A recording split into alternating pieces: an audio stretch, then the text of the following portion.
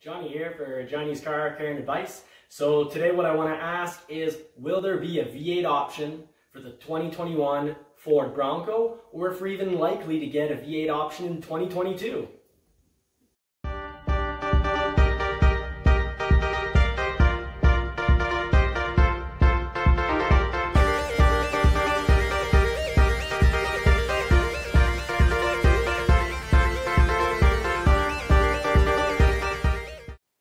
So let's jump right in and try to answer the question of whether we're ever going to get a V8, that's Ford's 5 liter engine, in this bad boy right here, the Bronco.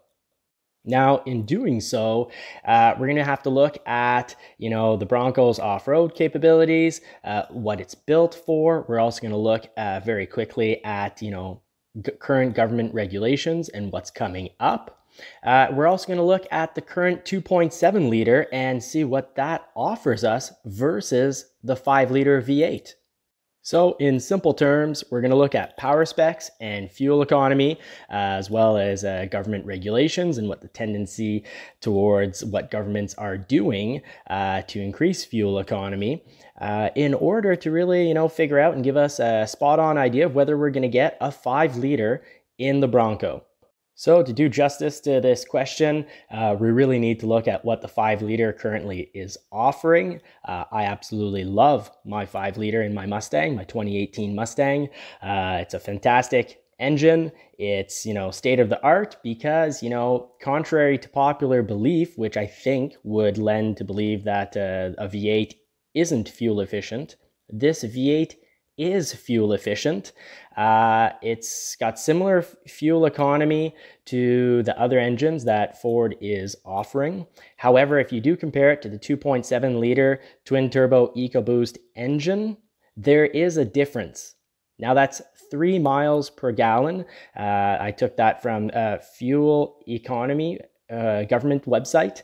Uh, and when I looked into things a little further, three miles per gallon on an individual uh, perspective doesn't make much of a difference at all. Uh, it's $150 per year on average that you would spend in extra fuel for a three mile per gallon difference. Now, I hope that wouldn't influence very many buyers' decisions because otherwise, you know, exciting, really cool, fast vehicles are going to be, you know, are going to be put back to a bygone era where we're going to see less and less of them and eventually won't get any at all. So, you know, the consumer really does decide in a large part what gets produced. So, you know, I think if we all do the math and uh, look at it, you know, we would all want a five liter Bronco uh, because you know the V8 if it's only going to cost $150 in fuel, why not? Now, this leads us to another question. And that question is what are governments around the world currently doing in regards to regulations for fuel economy? Well, uh, in this sense, it's not that promising. You know, we, we reduce our chances of getting a V8 in the Bronco because generally, uh, on a global scale, governments are putting in regulations that are causing manufacturers to put smaller, less powerful engines in their vehicles. Now, if you look at uh, the ca- CAFE government regulation, that would uh, dictate, uh, you know, if that ever does fully come to fruition, that's going to cause manufacturers to have to have a very high, I believe it's 50 uh, miles per gallon average across the board. So, you know, car companies are going to have to figure out which models get, you know, more fun, fuel burning engines with lots of power and which other vehicles are going to just be, you know, 100% electric or hybrid. So, you know, that's one small strike against the chances of getting a V8 in the the Bronco because for a manufacturer, if they're going to sell, you know, three, four hundred thousand uh, models, uh, you know, let's say Ford sells three hundred thousand Broncos per year. Well, the three miles per gallon is going to make a big difference for Ford to achieve that 50 mile per gallon overall average across all their models. So I think what this means is that if we do get a 5 liter V8 in the Bronco, eh, they're going to have to reserve it to a very high-end trim, a specialty model, uh, to make sure that they don't sell, you know, two, 300,000 uh, vehicles with that engine option, bringing up their, their overall average. Now, we have to look at power specs. What do power specs tell us in regards to our likelihood of getting a V8? So the power spec story for the 5 liter is a bit similar to what we saw in my previous video for the asking the question of whether the, the, the four cylinder engine is any good and what's wrong with it. Now, uh, in that video, I concluded that the four cylinder turbo is as good, if not actually better. And I feel it's better than a, a six cylinder, like a 3.6 liter non-turboed six cylinder. And this power chart, you know, does speak to that. Essentially, what this chart is telling us is that Ford's 2.3 liter four cylinder engine has a lot of torque right off the bat. So it's, you know, good for off-roading uh, and it's just good for, you know, pressing down on the pedal, getting instant power and having fun. But the 5 liter actually has uh, quite a bit of torque at low end. So, you know, in regards to off-roading, the 5 liter would make an amazing engine because it has a ton of torque, around 325 pound-feet of torque, uh, around the 2500 RPM range. So it's very powerful at low end. So, you know, let's try to uh, figure this out. Now, as promised earlier on in the video, uh, I will look at what that third option, engine option, likely will be from Ford. Uh, so let's look at the F-150, its current power specs to give us uh, an idea of, you know, what we're getting out of the 5 liter, what our chances of getting this engine are. Now, looking at the 5 liter engine, you know, looking at this chart here, we see that it has 400 pound feet of torque at 4,500 RPM. And if we compare that to the 2.7 liter, uh, the story doesn't bode well. Uh, the 2.7 liter, which is more fuel efficient, is getting also 400 pound feet of torque that at only 2,750 RPM. So on paper already, uh, this is a, a, a big plus for the 2.7 liter and you know not so great for the 5 liter i looked at torque uh, spec sheets. And actually, the 5 liter, though, while it does make 100% of its power for torque at 4,500 RPM, it's still very powerful uh, around 2,500 RPM. So this does not put a strike on it. Uh, but on paper, when you put it on a spec sheet, the 2.7 liter does look more interesting for a Bronco because, once again, the Bronco is made to go off road and you want that low end torque. And also, while we look at horsepower, we may notice that there's a difference. There's less horsepower on the 2.7 liter engine. It is getting that horsepower at a lower RPM, which you know you know wouldn't necessarily uh, be all that important for, let's say, a Mustang, but when it's for a truck or a Bronco and you want to go off roading, uh, you want more horsepower at a lower end. So, you know, here are two factors that point to the fact that, you know, Ford must be very happy with their choice of picking the 2.7 liter EcoBoost over the V8 5 liter. But does this mean we're not going to get a 5 liter on a specialty model? Well, not necessarily. We need to look more into this. Now, looking at speed for the F-150, the 2.7 liter EcoBoost engine, uh, it is fantastic. It's one of its uh, fastest options. Car and Driver tested it out and was able to get to 60 miles per, per hour in only 5.7 seconds. So, you know, for everyone who's gonna who's saying I'm not gonna buy a Bronco if it doesn't come with a V8, well, if it's for the sound, I can understand. But if it's about power, well, you know, forget about it. The 2.7 liter is excellent. So let's make a quick recap. The 5 liter is fuel efficient unless you're looking at selling, you know, several hundred thousand of them, in which it causes problems with future government regulations for overall fuel economy for manufacturers, in which they can receive fines.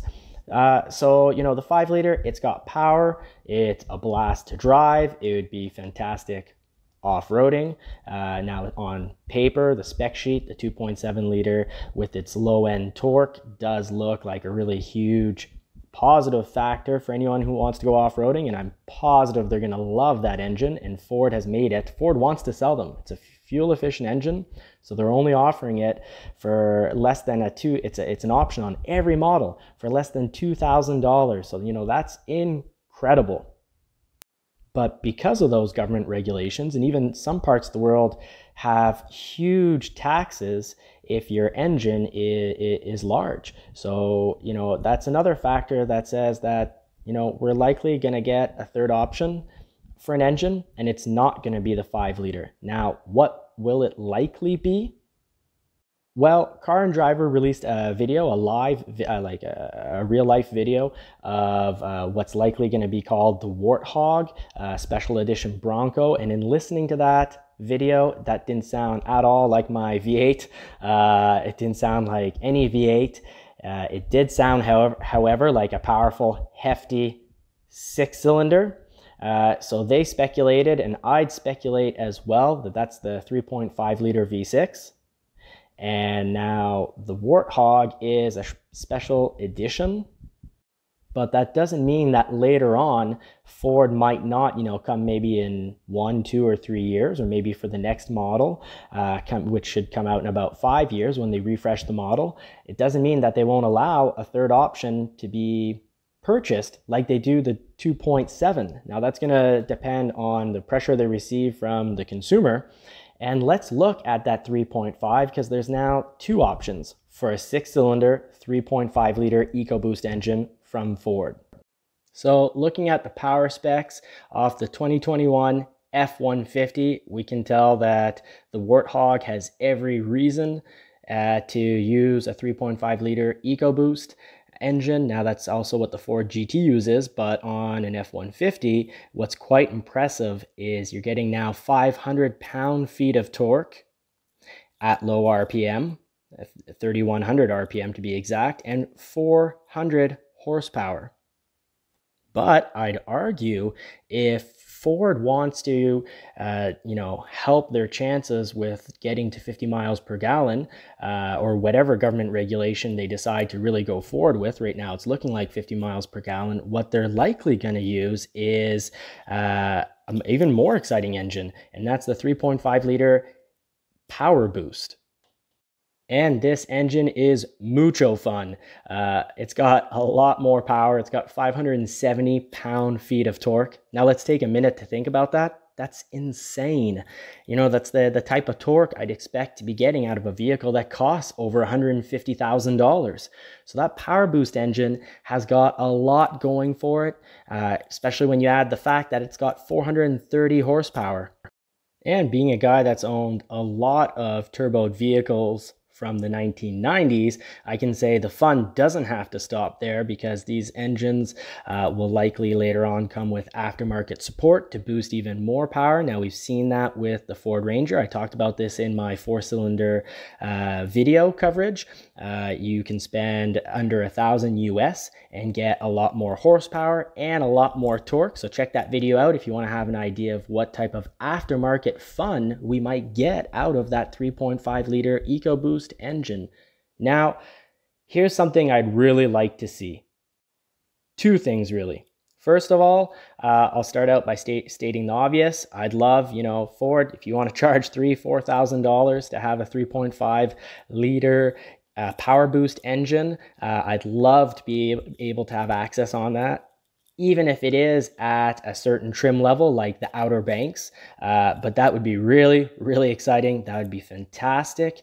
And by the way, a Power Boost engine on an F-150 saves you about 30% of your fuel consumption. So that over the course of a year actually is interesting, but I'd want it for the power. But I justify the purchase with misses, saying that, you know, I'm getting the hybrid and spending an extra, let's say three or 4,000. I justify that through fuel economy because 30% over the course of a year starts to look pretty interesting. And 570 pound feet of torque is insane. Uh, so that Power Boost engine is a big win. It's a huge plus. Ford, please let us have it as an option on more than just the, the hopefully upcoming Warthog, which would be an addition sort of like the F-150 has the Raptor, while the Bronco uh, should also get its own special edition, maybe called Warthog. Now, let's add to that wish list rubberized flooring with the drain plug. Uh, I'd love to see that as an option for all models. Now, of course, there's a production cost to that and it would complicate things at the factory.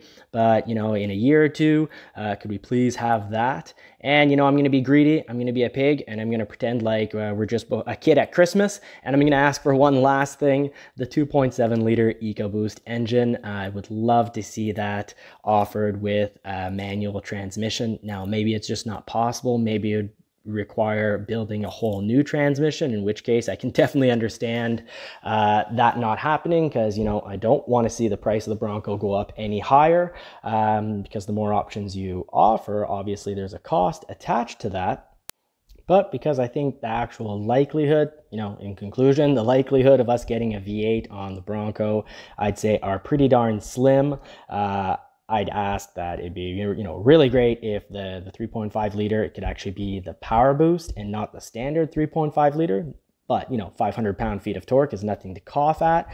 But it would be great if it's an option across all models uh, either for 2021 or coming up. And i'd also love to see these doors offered pretty quickly pretty soon as an accessory. Uh, and also it'd be really neat in regards to you know the whole question of buying a Sasquatch package or not and the cost. If we could just have from factory really cool tires and mags. Now you know it is really cool that on uh, the diamond edition uh, you can upgrade your mag package for next to nothing. Uh, but yeah it would be really cool to have cool mags and tires. For not too much of a premium. Uh, so, you know, if this video has been helpful, uh, please like and subscribe because there'll be more videos coming out soon.